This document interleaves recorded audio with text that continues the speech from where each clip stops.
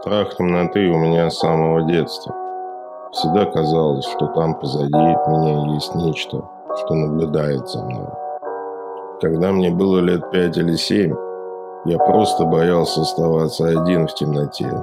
Думаю, это проблема многих детей, но у меня она была. Хм, как бы сказать, выражена слишком ярко.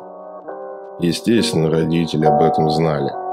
Я ходил по психологам, на свой одиннадцатый день рождения я получил набор взрослых книжек по самовнушению, психологии и прочей, простите, всякой фигне.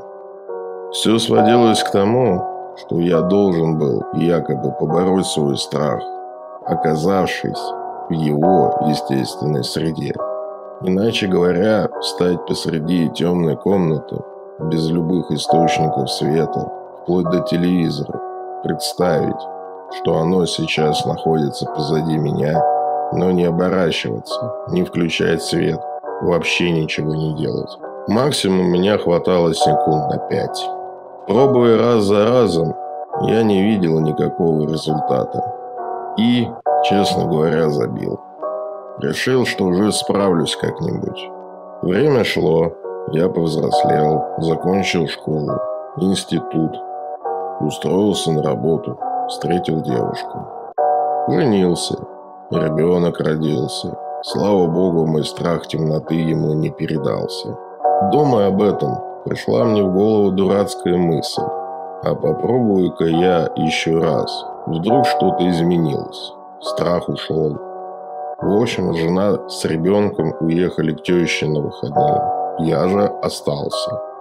Наверное, около часа ночи я погасил в доме весь свет, встал спиной к коридору, соответственно, лицом в комнату. Стою, жду, а в голове страху нагоняю. Минута прошла, наверное. Я уже было решил, что все, страх детства пропал. Но в тот момент позади себя я услышал шорохи. В голове пронеслось. Все хорош. Хотел сделать шаг вперед, свет включить, но замер, не пройдя и полуметр. Я ведь говорил, что стоял лицом в комнату, верно? У нас там шкаф с зеркалом, в отражении которого я увидел глаза, что возвышались над моей головой сантиметров в 15. И без того было темно, но пространство позади меня занимала фигура, которая была еще темнее еще более отчетливо видно. Темнота, которая выделяется из темноты.